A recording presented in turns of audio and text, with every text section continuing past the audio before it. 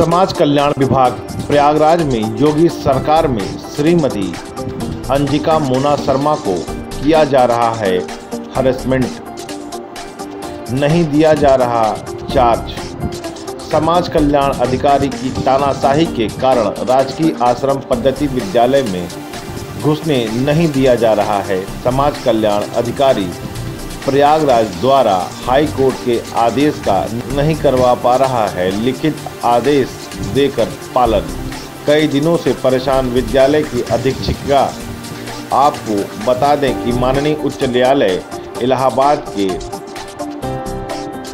Writ याचिका संख्या ए बटे ग्यारह पाँच सौ साठ बटे 2019 श्रीमती अंजिका मोना शर्मा को केस निस्तारण होने तक यथावत अधीक्षिका राजकीय आश्रम पद्धति विद्यालय कौड़िहार प्रयागराज में बनी रहेंगी। वेतन भुगतान भी यहीं से करने का आदेश पारित हुआ है। आखिर इस मामले में कब जिलाधिकारी प्रयागराज करेंगे कार्यवाही? अधीक्षिका ने लगाई जिलाधिकारी व योगी सरकार से गुहार। आश्रम पद्धति विद्यालय बालिका विद्यालय कोडियार में प्रधानाचार्य पद के सापेक्ष तैनात रही हूँ तीन साल। मैं अ, मेरा जो है सत्ताईस जून को डायरेक्टर साहब के आदेश से ट्रांसफ़र किया गया था। मैं डायरेक्टर साहब से मिली मैंने बताया कि मैं सिंगल पेरेंट हूँ मेरी दो बेटियाँ हैं मैं उनकी परवरिश अकेले ही कर रही हूँ और मेरी बड़ी पुत्री जो है इस बार कक्षा बारह की बोर्ड एग्ज़ाम में बैठेगी। तो उन्होंने मेरा आदेश मेरी परिस्थिति को देखते हुए कैंसिल कर दिया। लेकिन उसके बाद दबाव बना करके और रेणु सिंह को चार्ज देने के लिए मेरा 30 जून को शासन से एक पत्र संदर्भित किया गया और स्वामी प्रसाद मौर्य जी के लेटर पैड का मतलब हवाला देते हुए मेरा ट्रांसफ़र फिर से 12 जुलाई को रायबरेली बछरावा यथावत कर दिया गया। मैं बहुत परेशान हो गई क्योंकि यहाँ पे मतलब मेरा मेंटेनेंस का केस भी चल रहा है। मेरी बच्ची भी पढ़ाई कर रही है। इसलिए मुझे बहुत विवश होकर के कोर्ट के सराव में जाना पड़ा। माननीय न्यायालय ने एक अगस्त के ऑर्डर में मुझे इलाहाबाद में ही विद्यालय में यथावत बना रहने के आदेश दिए और कहा कि दो माह या फिर छः हफ़्ते या फिर मेरा प्रत्यावेदन निस्तारित होने तक मैं यहीं रहूँगी और डायरेक्टर साहब एक फ्रेश ऑर्डर करके आगे के लिए डिसीज़न लेंगे। उस आदेश के क्रम में मैं कारोबार ग्रहण करने के लिए गई।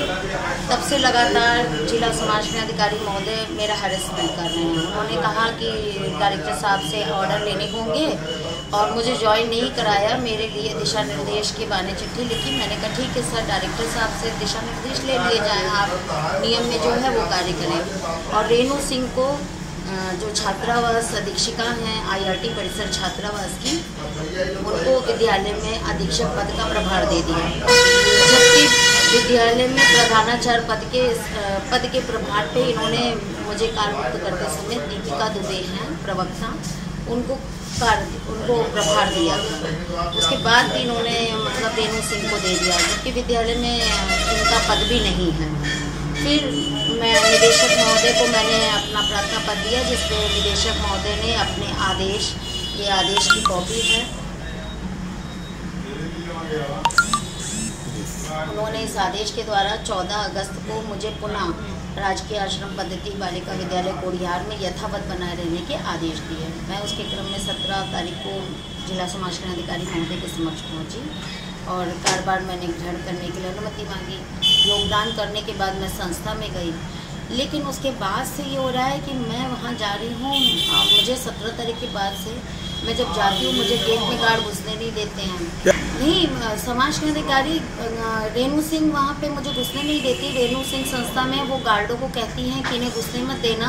इनका आदेश नहीं है और समाज के अधिकारी से बात करो। समाज के अधिकारी से जब गार्ड बात करते हैं, सुरक्षा गार्ड तो समाज के अधिकारी कहते हैं कि इनको यहाँ भेज दीजिए, इनका यहाँ आदेश है। मैं समाज कल्याण ऑफ़िस जाती हूँ, मुझे कोई आदेश नहीं देता कि मैं यही चाहती हूँ कि मैं एक मतलब एक महिला के से वो मेरे साथ न्याय करे, मेरी दो बच्चियाँ हैं, मैं केवल अपनी बच्ची की, क्योंकि वो कक्षा बारह में उसकी पढ़ाई के लिए यहाँ रुकना चाहती हूँ, इसीलिए माननीय न्यायालय ने भी मुझे जो है यहाँ रहने के लिए डायरेक्टर साहब से को दिया है। लेकिन फिर भी मुझे समाज अधिकारी मतलब बहुत परेशान कर रहे हैं। वो नाम अंजिका मुना शर्मा है। मैं आश्रम पद्धति बालिका विद्यालय कोडिहार में अधीक्षिका पद पर तैनात हूँ। खबर जगत 24 न्यूज़, प्रयागराज से एलएनसी की रिपोर्ट।